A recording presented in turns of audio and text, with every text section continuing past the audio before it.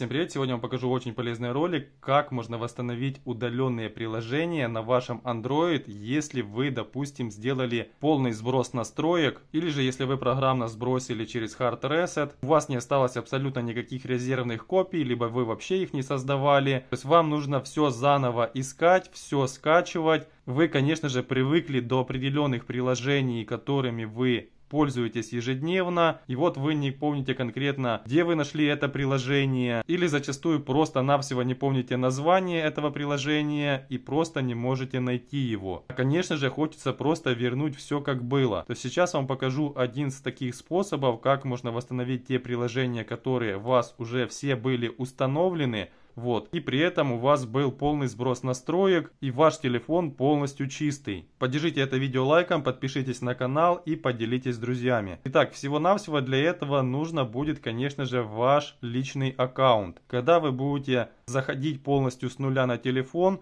в любом случае ваш смартфон попросит вас свою электронную почту. Ваша электронная почта и есть ваш аккаунт. То есть он нужен для того, чтобы качать из Google Play Market. То есть вы заходите в Google Play Market, и вот, допустим, у меня мой аккаунт. Без вот этого аккаунта вы ничего скачивать, конечно же, не сможете. Устанавливать тоже не сможете. Потому это важно. Это работает только в том случае, если у вас есть свой аккаунт, конкретно в Google Play Market, и на момент удаления вы были конкретно под вот этим аккаунтом. То есть, если вы ведете какой-то абсолютно другой аккаунт, то, понятное дело, у вас не получится восстановить то, что вы хотели. Итак, чтобы вы не запутались, куда нужно заходить. Находите свой Google Play Market после того, когда вы сделали первый запуск телефона. То есть, когда уже все настройки сброшены полностью, вот, зашли, то есть вы должны уже быть под своим аккаунтом, заходите на свою аватарку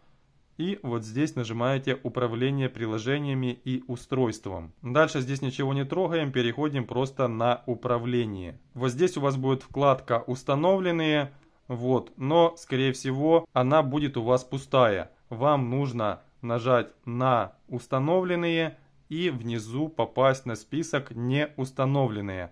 Вот, нажимаете и вот здесь как раз таки все вот эти приложения, которые вам высветятся, это те приложения, которые у вас были установлены на ваших смартфонах. Вам просто-навсего нужно будет выбрать вот эти приложения, то есть вы просто сразу же одним нажатием переходите на то приложение, которое у вас уже было, ну и нажимаете установить. То есть запоминать даже не придется вас, то что у вас было, все оно здесь будет.